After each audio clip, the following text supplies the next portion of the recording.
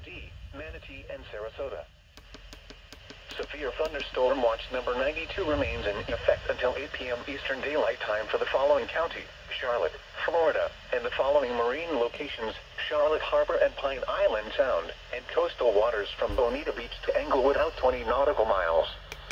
Remember, a severe thunderstorm watch means that conditions are favorable for the development of severe weather, including large hail and damaging winds, in close to the watch area. While severe weather may not be imminent, persons should remain alert for rapidly changing weather conditions and listen for later statements and possible warnings. Stay tuned to NOAA Weather Radio, commercial radio and television outlets, or internet sources for the latest severe weather information. Repeating, severe thunderstorm watch number 92 remains in effect until 8 p.m. Eastern Daylight Time for the following county, Charlotte, Florida, and the following marine locations, Charlotte Harbor and Pine Island Sound, and coastal waters from Bonita Beach to Englewood out 20 nautical miles. Severe thunderstorm watch number 91 remains in effect until 4 p.m. Eastern Daylight Time for the following counties, in Florida, DeSoto, Hardee, Manatee, and Sarasota.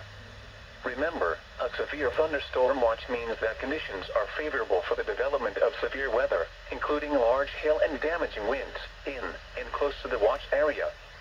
While severe weather may not be imminent, persons should remain alert for rapidly changing weather conditions and listen for later statements and possible warnings.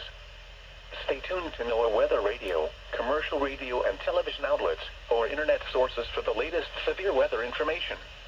Repeating, severe thunderstorm watch number 91 remains in effect until 4 p.m. Eastern Daylight Time for the following counties, in Florida, DeSoto, Hardee, Manatee, and Sarasota. Severe thunderstorm watch number 92 remains in effect until 8 p.m. Eastern Daylight Time for the following county, Charlotte, Florida, and the following marine